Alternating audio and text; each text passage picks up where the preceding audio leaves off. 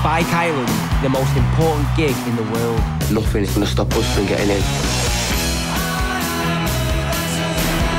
For a bit, Stone Roses made everything right.